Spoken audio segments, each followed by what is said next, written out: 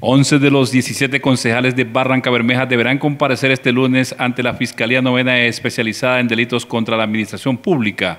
El corporado Luis Arismendi, uno de los citados, se ha referido a esta diligencia. Con sorpresa recibimos una citación eh, en el día de, ayer, eh, en donde nos están citando a 11 concejales eh, para una audiencia.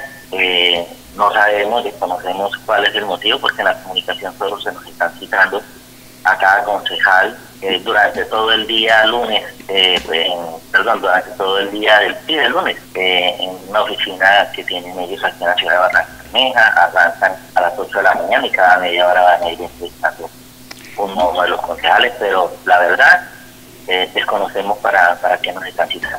Hay varias especulaciones, temas de, de anónimos, el tema de un proyecto de acuerdo en relación con facultades. ¿Te ha conocido esas versiones?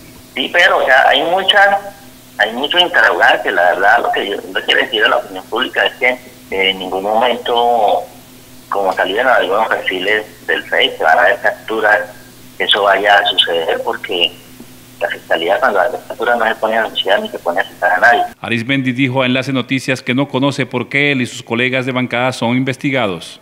Nos están llamando a una indagatoria y esto forma parte del protocolo de todo lo que hemos venido haciendo porque no es la primera vez que decidan a los concejales de la ciudad de Barranca para eh, responder ante algún proyecto. Entonces, eh, decirle a la comunidad que, el día lunes simplemente estamos presentando una audiencia y tan pronto estemos allá sabremos para qué nos citaron.